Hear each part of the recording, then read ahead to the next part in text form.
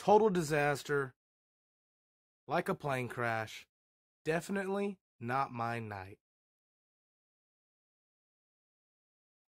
So, guys, basically what's going on here is I got a 65 gallon tank. I was trying to set it up.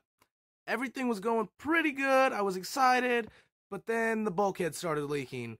Then my floor was flooded and it was just going really, really bad. I couldn't figure out the issue. This was my first tank that I never did hang on back anything, and it was all going to be ran straight to the sump through the bottom of the tank.